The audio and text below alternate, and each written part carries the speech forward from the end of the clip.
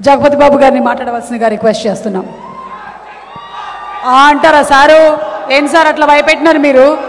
కానీ ఒక్క విషయం చెప్పాలి సారు. మీకు ఈ సినిమా ఇంత నచ్చింది కాబట్టి మీరు దిల్లో పెట్టుకొని మొత్తం అంతా మీ భుజాల మీద వేసుకొని ఎంత ప్రమోట్ చేస్తున్నారంటే hats off to you sir. ఎంత భీమరావు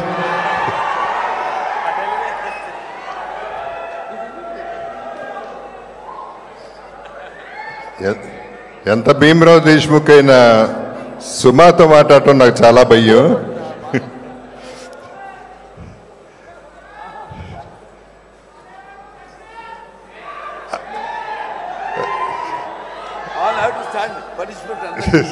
కాదు అందరూ అందరూ పంపించేయచ్చుగా పాపం. ఎందుకు కూర్చొని?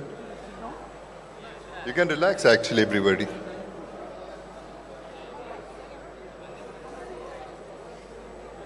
దయచేసి అందరినీ కూర్చోవలసిందిగా రిక్వెస్ట్ చేస్తున్నాము.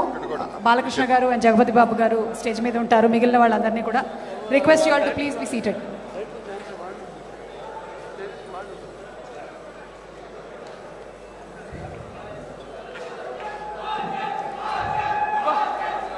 Okay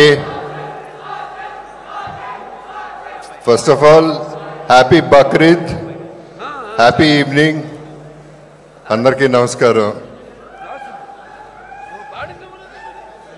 ఒక నిజం చెప్పాలంటే మూడు నాలుగు నెలలుగా ఆలోచిస్తూ ఉన్నాను. ఈ ప్రోగ్రాం గురించి. అంటే ఈ సినిమా మీద నమ్మకం అంత ఉంది. బాలయ్య బాబుని పిలవాలి. ఆయన్ని ఈ ఫంక్షన్కి రావాలని కోరిక మూడు నాలుగు నెలలుగా ఉంది. ఆలోచించాను చాలా ఆలోచించాను. ఎందుకంటే నాకు ఆయన డిస్టర్బ్ చేయడం ఇష్టం లేదు. ఒకటి ఆయన ఆల్రెడీ పాపం షూటింగ్లో బిజీగా ఉన్నారు పాలిటిక్స్లో బిజీగా ఉన్నారు హాస్పిటల్లో బిజీగా ఉన్నారు. టైం స్పేర్ చేయలేరు కానీ నేను అడిగితే కాదనరనే నమ్మకం ఉంది. సో నేను వెళ్ళి అడిగాను ఫైనలీ. ఆయన మన మా నాన్నగారి పేరు మీద గౌరవంతో నాతో ఇమ్మీడియట్గా ఏ కృష్ణ పెట్టకుండా ఎప్పుడు పెట్టుకుందాం ప్రోగ్రాం చెప్పండి అన్నారు. వచ్చారు. అంతే మీ అందరికీ తెలుసు ఆయనతో నేను లెజెండ్ లెజెండ్ అనే సినిమా ఏ రేంజ్కి తీసుకెళ్ళింది నన్ను అనేది ఎలా నిలబెట్టింది అనేది తెలుసు. సో అదే లెజెండ్తో ఆయన బ్లెస్సింగ్స్తో ఈ మూడో ఇన్నింగ్స్ ఆయన ఇప్పిస్తారని కొంచెం కోరుకుంటున్నాను. మీరందరూ బాలయ్య బాబుని ఎన్నో సినిమాలుగా ఎన్నో రకాలుగా ఫెరోషియస్ క్యారెక్టర్స్ చూశారు. కానీ అన్స్టాపబుల్ బాలయ్య గారు అన్స్టాపబుల్ ఏంటి అనేది తర్వాత ఏం- ఆయన ఏంటో మీ అందరికీ ఇప్పుడు ఫుల్ క్లారిటీ వచ్చింది. ఇది మేము రోజు షూటింగ్లో చూస్తాం. ఇట్టాగే సరదాగానే ఉంటారు. జోకులు వేస్తూనే ఉంటారు. విపరీతంగా నవ్విస్తూ ఉంటారు. సో ఆయనతో ఎంజాయ్ చేసినట్టు ఎప్పుడు ఎంజాయ్ చేయలేను. సో మీ అన్స్టాపబుల్ మాకు కూడా కొంచెం ఇవ్వండి ఈ సినిమాకి. మీ బ్లెస్సింగ్స్ ఈ సినిమా ఈ సినిమా బాగుండాలనేది మీ బ్లెస్సింగ్స్ మాకు కావాలండి. అండ్ ఈ సినిమా రుద్రంగికి వస్తే ఫస్ట్ నాకు వన్ ఇయర్గా అజయ్ ఈ కథ పట్టుకొని తిరిగాడు. ఆల్మోస్ట్ వన్ ఇయర్ అనుకుంటా. నేను చేయనని చెప్పా వద్దు అజయ్ సినిమా చాలా బాగుంది కథ చాలా బాగుంది క్యారెక్టరైజేషన్ చాలా బాగుంది కానీ బడ్జెట్ కూడా చాలా బాగుంది చాలా పెద్దది ఉంది. చాలా కష్టం ఈ సినిమా తీయటం. సరిపోదు నా త- నా ఇది సరిపోదు అనేది చెప్ చెప్తూ వచ్చాను.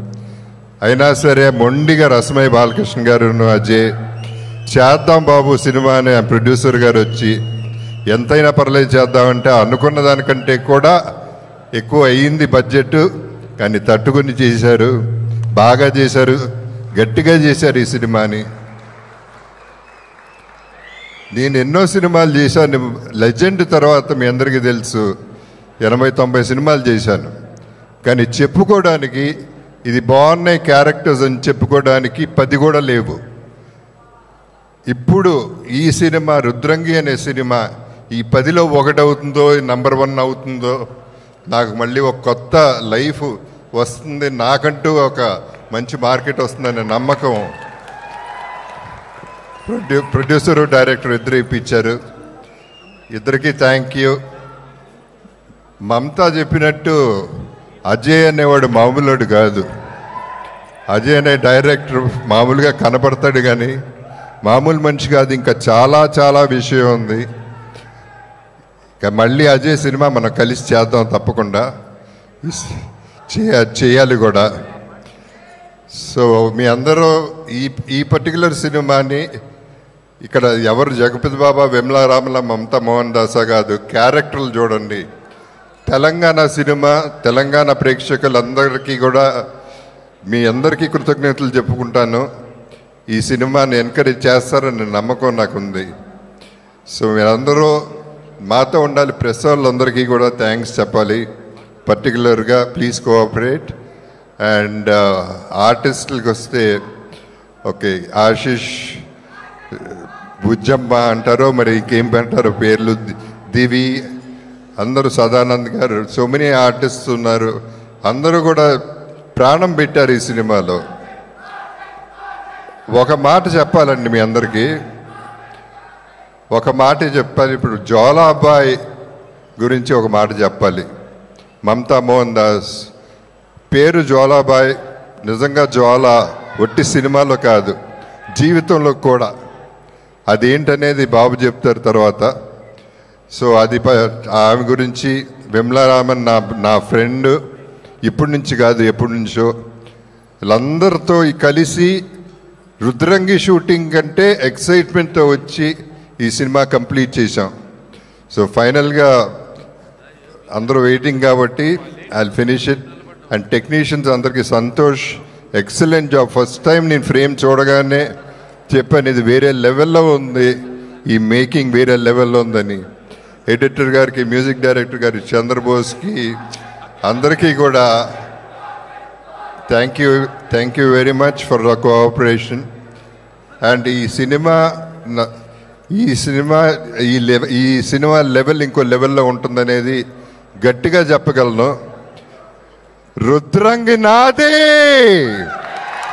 Rudrangi is belongs to me అది ఇప్పటిదాకా ఏడో తారీఖు నుంచి Rudrangi belongs to y'all so అందరితో పాటు ఎక్కడికి వెళ్ళినా పబ్బులకి వెళ్ళినా థియేటర్లకు వెళ్ళినా ఎక్కడికి వెళ్ళినా ఒకే ఒక మాట వినపడుతుంది. అందరికీ తెలిసింది ఏంటో జై బాలయ్య!